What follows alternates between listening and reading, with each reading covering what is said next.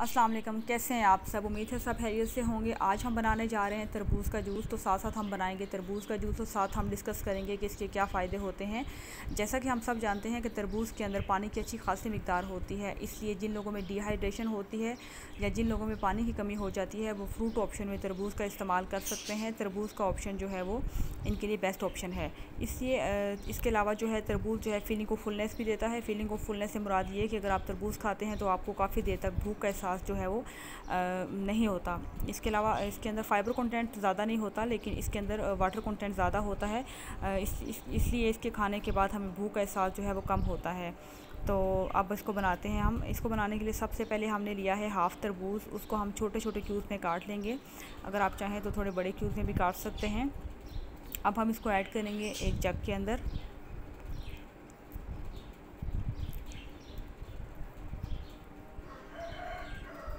अगर आप चाहें तो आप इसके अंदर लेमन जूस भी ऐड कर सकते हैं। जूस हमारा तैयार हो चुका है। अब हम लेंगे एक सर्विंग ग्लास इसके अंदर हम ऐड करेंगे कुछ बर्फ़। अब हम इसके अंदर ऐड करेंगे जूस।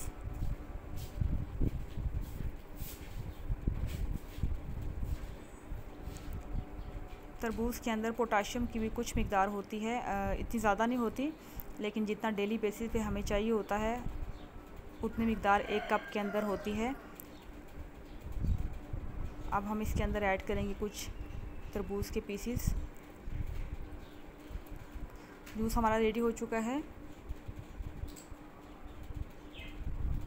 आप गर्मियों में लाजमी इसका इस्तेमाल कीजिए। इसके अलावा इसके अंदर एंटीऑक्सीडेंट भी होता है, जो कि एंटीऑक्सीडेंट एक तो हमारी स्किन के लिए बहुत अच्छे होते हैं। इसके अलावा ये हमें बहुत सी बीमारियों से बचाते हैं, जैसे कैंसर हो गया हार्ट डिसीज़ हो गई, ऐसी बीमारियों से ये हमें बचाते हैं। इसके अलावा इसके अंदर वाइटामिन सी भी अच्छी खासी मकदार में होता है, जो कि हमारी स्किन के लिए, हमारे नेल्स के लिए बहुत अच्छा होता है। इसके अलावा वेट लॉस के लिए ये अच्छा ऑप्शन है। इसके अलावा इसके अंदर वाइटामिन ए काफ़ी मकदार में होता है जो कि आँखों के लिए वाइटामिन ए बहुत अच्छा होता है। इसलिए जिन लोगों की आईसेट वीक है, वो भी इसका इस्तेमाल लाजमी करें। गुर्दे की हेल्थ के लिए बहुत अच्छा होता है।